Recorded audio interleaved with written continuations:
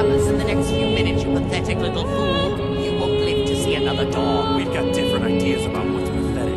Because if you ask me, pathetic is a monster like you getting beat by a Saiyan monkey like me. I admire your ability to continue making threats, even though we both know how empty they are, but it's starting